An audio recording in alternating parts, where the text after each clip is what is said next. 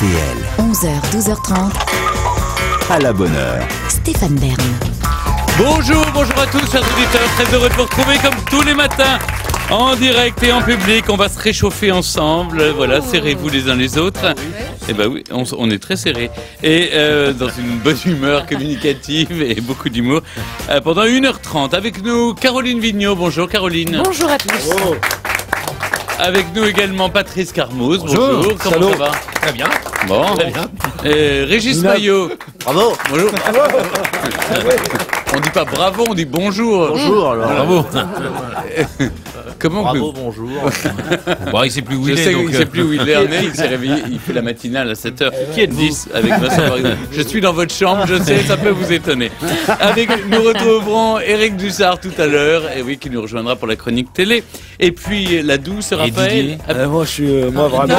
Il y a la Et douce. Dalle, La hein. douce Raphaël. Je pensais que mais, j'étais mais, mieux, accueilli à RTL France Inter. C'est pareil. Ça a commencé comme ça. hein. Vous faites tellement partie de mon environnement. Voici Didier Porte, mesdames et messieurs. Il est là ce matin aussi. Parce qu'il vient pas le mardi d'habitude. Oui, il vient ça. pas le mardi. Je l'annonce le jeudi. perturbé. hein. Il vient le jeudi. Très Bon, là, il sauve perturbé, deux oui. jours. Non, mais il préfère, là, il y a.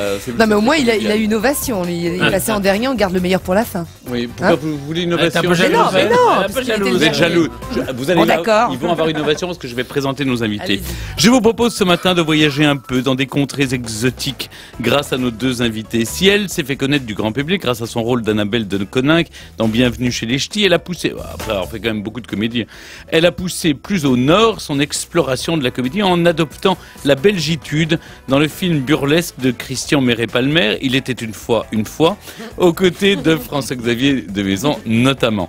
Et c'est vrai que la Belgique a quelque chose de poétique et de surréaliste qui devrait plaire à ce griot blanc qui a l'Afrique au cœur et qui, entre poésie, coup de colère et récit d'une observation de l'âme humaine, surtout lorsque l'alcool désinhibe les esprits, ne se contente pas d'écrire des livres à succès. Il leur donne vie sur scène. Il est en tournée actuellement avec Traîne pas trop sous la pluie qui, vous vous en doutez, n'est pas un simple conseil météorologique, d'autant qu'il est prudent surtout de ne pas s'attarder par grand froid. Avec nous ce matin, je vous demande d'accueillir Anne-Marie Vin et. Richard Boringer.